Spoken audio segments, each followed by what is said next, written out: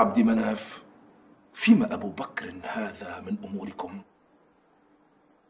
قد اجتمع الناس على بيعته وهو من تيم من تيم أقل حي من قريش وأذله والله إن شئتم لأملأنها عليه خيلا ورجلا وآخذنها عليه من أقطارها. معاذ الله!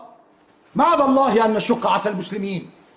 والله إنك ما أردت إلا الفتنة. ولا حاجة لنا في نصيحتك. على رسلك يا أبا الحسن ما أردت إلا أن أنصرك إن كنت قد غلبت عليها.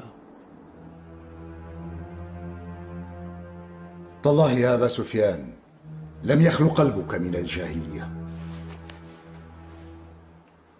وما زلت ترى النبوة مأثرة وملكا تتفاضل بهما القبائل وقد وضع الله أنساب الجاهلية وحميتها.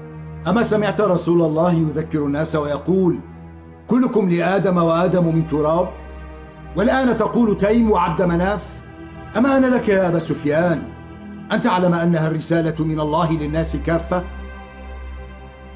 أما الإمارة بعد رسول الله فلولا أن رأينا أبا بكر لها أهلا ما خليناه وإياها فليس علي بالذي يسكت عن الباطل أو تأخذه في الحق لومة لائم. ألست أحق بها منه؟ وأنت ابن عم رسول الله وزوج ابنته. كان رسول الله نبيا ورسولا ولم يكن ملكا. ولا والله ما كنت لأشق عصا المسلمين. وأوهن قوتهم حين صرنا أحوج ما نكون إليها. وقد ارتدت العرب.